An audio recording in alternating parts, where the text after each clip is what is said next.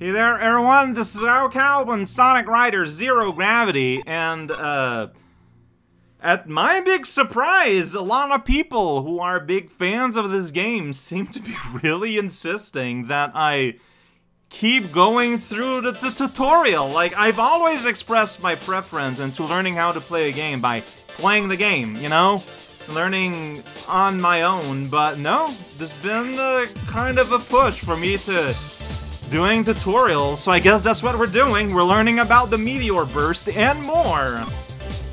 I, uh, okay. Alright, connect with floating objects during a gravity. Oh, I did that yesterday with train pieces. Uh, okay, so the way it works is we're in practice mode.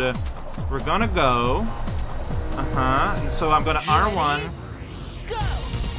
And then I'm supposed to, like, smash into that. That makes me go faster. Sweet. Which doesn't make a whole lot of sense to me.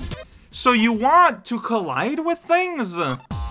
Yeah, that is not, not the most, um, obvious concept, honestly.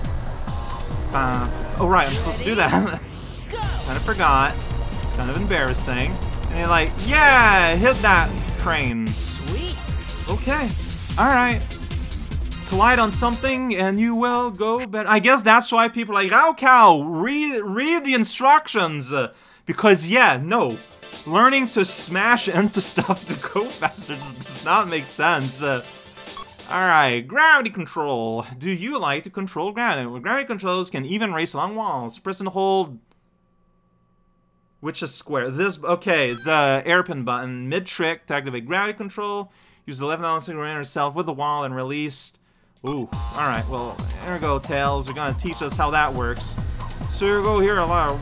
Okay, so there's my wall, right? So you want to do that? I don't think I did it. Um, alright. So this is why we get practice mode, is so that we can practice things. So you go here, then you go like, whoa, like that. Whoa! Hmm. Okay, so I don't think I did that well. Learning, learning.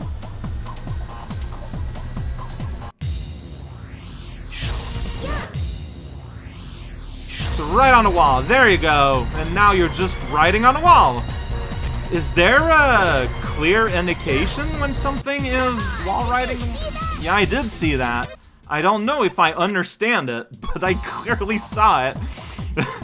okay, so the big difference is you don't have a ghost in these little... So you're just supposed to, like, go up this ramp, like, if they always have big red arrows like that, like, okay, I guess I mean, I guess you just have to look. Like, you just have to look at the scenery around yourself, and you're like, alright, okay, that kind of looks like it could be a wall, and then you do that.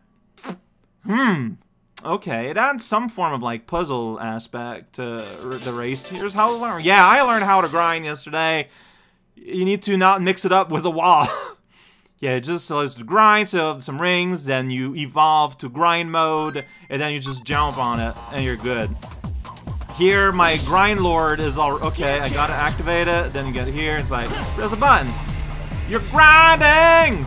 And there you grind again, it's very easy. You don't have to, like, time two different things, so... Sweet. This is a lot easier than it was in the original game, I have to say. Maybe, I, I mean, they basically made it, like, kind of a thing into a thing that you don't really have to think about too much. Like, you just jump. You don't have to, like, press a button. Whoa! Like I did there to re-land. Like, luckily the game let me keep it. Even though, uh, you know? Even though you know. Yeah, it's no better way to put that, I don't think. Alright, well, these are just steaming through them.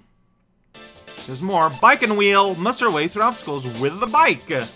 Using a bicycle. Alright, you can send obstacles flying for riding bike or wheel. Select bike. Destroy obstacles. Okay, so it's power. Okay, so basically, yeah, this is power. Gear change. Yeah, gear change. I'm riding a bike now, and I'm gonna smash these cars. Yeah, Knuckles! No I have aggression problems. we still didn't make light.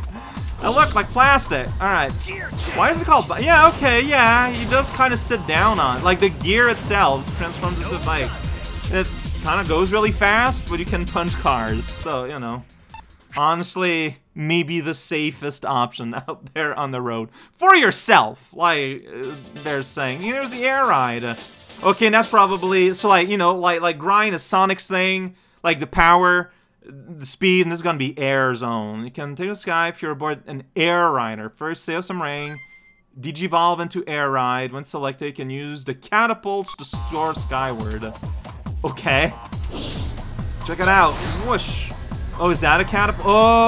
Oh, those. All right, let's uh, restart. I was holding back, which probably drove my nose downward. Uh, I was holding forward, rather. Yeah, yeah, yeah. It ain't gonna go like, whoa. It's like a plane. It's reversed the way it should be. Here we go.